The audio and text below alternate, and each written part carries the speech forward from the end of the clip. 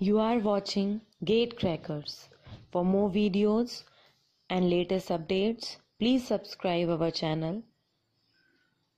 नमस्कार दोस्तों मैं साहस सिंह यादव स्वागत करता हूँ आप लोगों का दोस्तों ये सिग्नल सिस्टम की टेस्ट सीरीज़ का चौथा टेस्ट है और ये टेस्ट जो है वो फुरियर ट्रांसफॉर्म का टेस्ट है तो फुरियर ट्रांसफॉर्म का हम टेस्ट देखते हैं और मैं पहले ही बता देता हूँ कि इस टेस्ट का सॉल्यूशन दो या तीन दिन में आपको अपलोड हो जाएगा तो आप ये टेस्ट के क्वेश्चंस को सॉल्व करने की कोशिश कीजिएगा।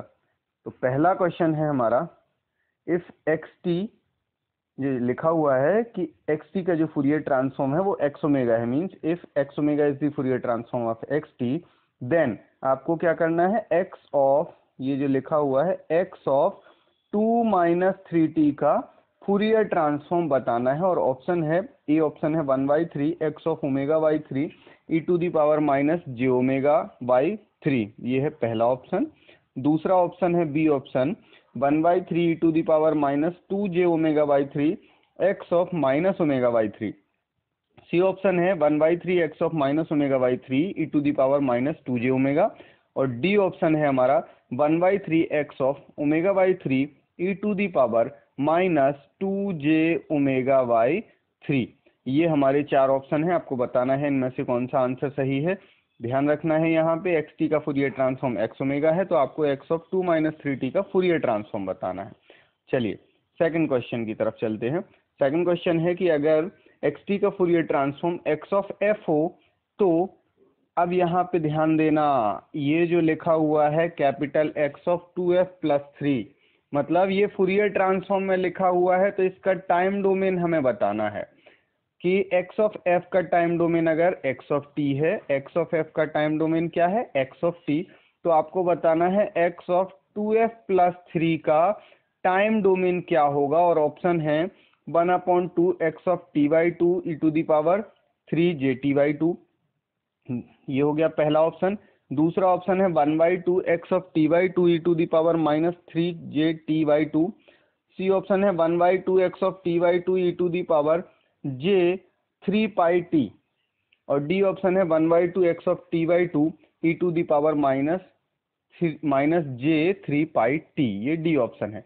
ध्यान रखना है यहाँ पे, हमें क्या करना है? फुरियर ट्रांसफॉर्म गिवन है। फुरियर ट्रांसफॉर्म का स्केल्ड एंड शिफ्टेड वर्जन आपको निकालना है इसका टाइम डोमेन निकालना है। थर्ड क्वेश्चन की तरफ़ चलते हैं। थर्ड क्वेश्चन है वही कि अगर एक्स ऑफ़ ओमेगा जो है वो एक्स टी का फुरियर ट्रांसफॉर्म है तो यहाँ पे ध्यान देना अब, आपको इस X of two T plus three का फुरियर ट्रांसफॉर्म निकालना है, लेकिन ध्यान दीजिए, ये जो एक्स है वो कैपिटल एक्स है, जो कि किस डोमेन में था पहले? ओमेगा डोमेन में था। मतलब क्या हुआ इसका? इसका मतलब ये हुआ कि टाइम डोमेन में स्मॉल एक्स है फ्रीक्वेंसी डोमेन में कैपिटल एक्स है। तो इसका टाइम डोमेन का फुरियर ट्रांसफॉर्म ये हुआ कैपिटल एक्स अब उसने पूछा है कि अगर कैपिटल एक्स में ओमेगा की जगह पहले क्या रखो? टी फिर उसे शिफ्टेड करके स्केल कर दो। शिफ्टिंग की और स्केलिंग कर दी। फिर आपसे पूछा है कि ये जो नया फ़ंक्शन आपको मिल गया है, कौन सा? X of two T plus three मतलब फुरियर डोमेन में आपने पहले ओमेगा की जगह टी रखा और शिफ्टिंग करके स्केलिंग कर ली। तो एक नया फ़ंक्शन मिला। उस फ़ंक्शन का आपको अब आपको इस फ़ंक्शन का फुरियर ट्रांसफॉर्म पता करना है और ए ऑप्शन है आपका पाई अब देखिए यहाँ स्मॉल एक्स है। वहाँ पे क्या था आपका? कैपिटल एक्स था। यहाँ पे आपका क्या है? स्मॉल एक्स है। तो pi X of omega by two E to the power three J omega by two B option है pi again small X minus omega by two और E to the power three J omega by two. और C option है आपका pi X of omega by two E to the power minus three J omega by two. और D option है आपका pi X of minus omega by two E to the power minus three J omega by two. ध्यान रखना है, चारों option में small X है मतलब जो टाइम डोमेन वाला एक्स था। अब आपका चौथा क्वेश्चन आता है, वही चीज़ कि अगर एक्स ओमेगा एक्स टी का फुरियर ट्रांसफॉर्म है and X T is odd and real function X T कैसा है? मतलब टाइम डोमेन में ये फ़ंक्शन ये सिग्नल कैसा है? ऑड है एंड रियल है। तो आपको बताना है कि फ्रीक्वेंसी डोमेन में यही फ़ंक्शन क्या होगा? ए ऑप्शन है आपका odd and real B option है आपका odd and imaginary C option है इवन एंड रियल और डी ऑप्शन है इवन एंड इमेजनरी तो आपको बताना है कि टाइम डोमेन में अगर ऑड एंड रियल हो तो फ्रिक्वेंसी डोमेन में यही सिग्नल क्या होगा? चलिए नेक्स्ट क्वेश्चन की तरफ़ बढ़ते हैं।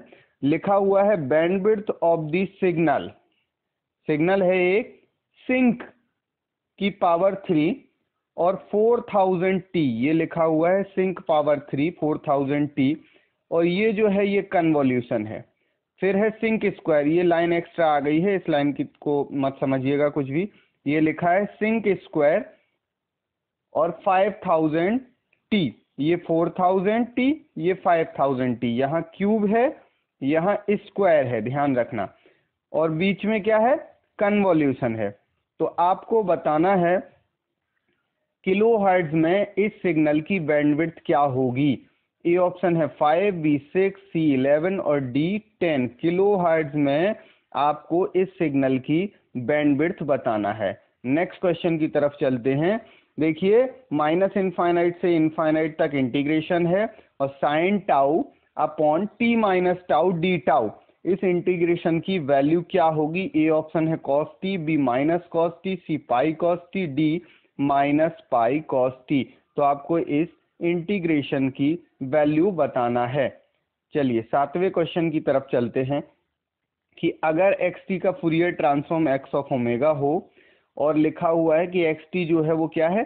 Sample three T convolution sample four T sample मतलब जो आपने सिंक और सैंपल पढ़े होंगे, हमने एक वीडियो बनाया था सैंपल और सिंक तो sample X is equal to क्या होता है? हमने आपको बताया था sine pi X upon pi X तो sorry sine X upon X तो वही हमारा क्या है ये? सैंपल इज़ इक्वल टू हमने बताया था साइन एक्स अपॉन एक्स और sample sinc X is equal to बताया था sine pi X upon pi X तो ये जो सैंपल है, जो sample X is equal to sine X upon X होता है, वही सैंपल है। तो sample three T convolution sample four T अगर आपको गिवन है X is equal to then आपसे पूछा है कि एक्स ऑफ़ ओमेगा क्या होगा? मतलब इसका फुरियर ट्रांसफॉर्म क्या होगा? जबकि ये जो साइन है, वो कन्वोल्यूशन है, ठीक है? तो आपको ऑप्शन ए है pi square by twelve rectangle omega by six B है pi square by twelve rectangle omega by eight C है pi square by twelve rectangle omega by twenty four और डी है pi square by twelve rectangle omega by twelve जबकि ध्यान रखना है कि यहाँ हमने A rectangle X upon T को क्या माना है? एक्स जबकि इंडिपेंडेंट वेरिएबल है। यहाँ जो लिखा हुआ है, ये एक्स नहीं है, ये क्या है? ए है amplitude A A rectangle X upon T को हमने क्या माना है? एम्पलीट्यूड ए और कहाँ से कहाँ तक? माइनस टी बाई टू से टी बाई टू तक। मतलब इसका टोटल ड्यूरेशन जो है टी है। कुछ बुक्स में टोटल यहाँ नीचे जो लिखा रहता है रेक्टेंगल के नीचे डिनोमिनेटर में, वो कुछ कुछ बुक्स में ऐसा मानते हैं कि ज़ीरो से लेके यहाँ तक की रेंज होती है। ठीक है? लेकिन कुछ बुक्स में ऐसा लिखा रहता है कि जो डिनोमिनेटर में यहाँ रेक्टेंगल में लिखा हो, वो टोटल ड्यूरेशन माना जाता है मतलब लेफ़्ट से राइट तक का। तो हमने ये मान के चले हैं हम कि रेक्टेंगल के जो डिनोमिनेटर में जो भी लिखा है, वो टोटल ड्यूरेशन है। ध्यान रखना। फिर से हम आपको समझा दें, कुछ बुक्स में लिखा रहता है ये ज़ीरो से लेके केवल पॉजिटिव वैल्यू उतनी ही नेगेटिव वैल्यू लेकिन हमने यहाँ कुछ बुक्स में ऐसा लिखा रहता है जो हमने बताया। तो ये मान के चलना है आपको और आपको इसका ऑप्शन आंसर जो है वो पता करना है, ठीक है? नेक्स्ट क्वेश्चन की तरफ़ हम चलते हैं। नेक्स्ट क्वेश्चन हमारा हुआ।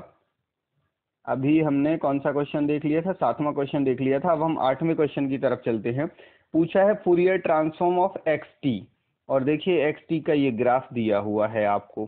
कैसा दिया है? ज़ीरो से ये मैग्नीट्यूड देखिए टू है। ये मैग ये टी की वैल्यू यहाँ भी टू है और यहाँ ज़ीरो है। एक राइट एंगल ट्रेंगल बना हुआ है और इसका फुरियर ट्रांसफॉर्म पूछा गया है। ऑप्शन ए है आपका one upon omega square one minus E to the power minus two J omega option B है two upon J omega plus one upon omega square bracket में है one minus E to the power minus two J omega. Option C है two upon J omega minus one upon omega square bracket में one minus E to the power minus two J omega. और option D है one upon omega square E to the power minus two J omega minus one ये आपको चारों option दिए हुए हैं तो इस ग्राफ का आपको क्या बताना है? फूरियर ट्रांसफॉर्म बताना है। नाइन्थ क्वेश्चन हमारा है कि वही अगेन कि x omega is the Fourier transform of x t and x t is continuous and periodic मतलब टाइम डोमेन में जो सिग्नल है, वो कंटिन्यूस है और पीरियोडिक है। देन एक्स ओमेगा इज़ मतलब आपसे पूछा गया है कि अगर टाइम डोमेन में कोई फ़ंक्शन कंटिन्यूस एंड पीरियडिक हो तो फ्रीक्वेंसी डोमेन में वो फ़ंक्शन क्या होगा? ए ऑप्शन है continuous and continuous and periodic B option है continuous and aperiodic C option है discrete and periodic D option है डिस्क्रीट एंड अपीरियोडिक तो इसका आपको सही आंसर पता करना है। दसवा क्वेश्चन हमारा है कि if bandwidth of x t is four hertz ये फोर हर्ट्ज लिखी हुई है। किसी सिग्नल की बैंडविड्थ फोर हर्ट्ज है then bandwidth of y t y t की बैंडविड्थ आपको पता करना है हर्ट्ज में ही, जबकि y t is equal to लिखा है x square t plus x और ब्रैकेट में है four t plus three. X के ब्रैकेट में है फोर टी प्लस थ्री। मतलब इसका जो आर्ग्यूमेंट है वो है फोर टी प्लस थ्री। और ये हर्ज लिखा हुआ है तो ये एक्स के ऊपर कोई पावर नहीं है, ठीक है? और होल ब्रैकेट एक बड़ा ब्रैकेट लगा हुआ है, जिसके मल्टीप्लाई में है x of t by two तो आपको इस पूरे सिग्नल की फाइनली क्या बताना है? बैंडविड्थ बताना है, और ऑप्शन है ए है eight, B sixteen, C ten और डी है एटीन। इन चारों में से आपको सही आंसर बताना है हर्ट्ज में, ठीक है? तो ये आपने देख लिया यहाँ पे कि हमने ये सारी चीज़ें देख ली हैं। अब हम देखते हैं कि ये हम टेस्ट सीरीज़ का सॉल्यूशन जो है वो दो तीन दिन में अपलोड कर देंगे और ध्यान रखना है आपको कि हमारे बाकी वीडियो भी चल रहे हैं सब्जेक्ट वाइज, जिसमें आपके थ्योरेटिकल्स और न्यूमेरिकल्स हम पढ़ाते हैं तो उनको भी देखते रहिए, हमारे वीडियो पसंद आ रहे हैं तो इनको लाइक ज़रूर कीजिए और लाइक करके शेयर भी कीजिए जिससे बाकी लोगों तक ये नॉलेज पहुँच जाए।